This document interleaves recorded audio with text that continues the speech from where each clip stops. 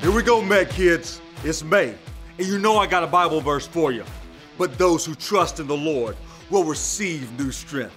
They will fly as high as eagles. They will run and not get tired. They will walk and not grow weak. Isaiah 40, 31. All right, MecKidz, that was pretty good.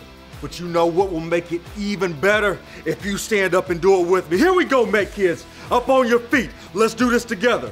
But those who trust in the Lord will receive new strength. They will fly as high as eagles. They will run and not get tired. They will walk and not grow weak. Isaiah 40, 31. Woo! Bible verse, Bible verse, Bible verse.